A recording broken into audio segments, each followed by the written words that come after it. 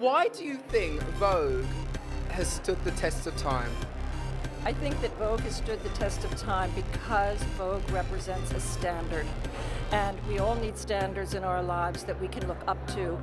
And Vogue provides a very tangible standard that is attainable if you decide to apply it to your life.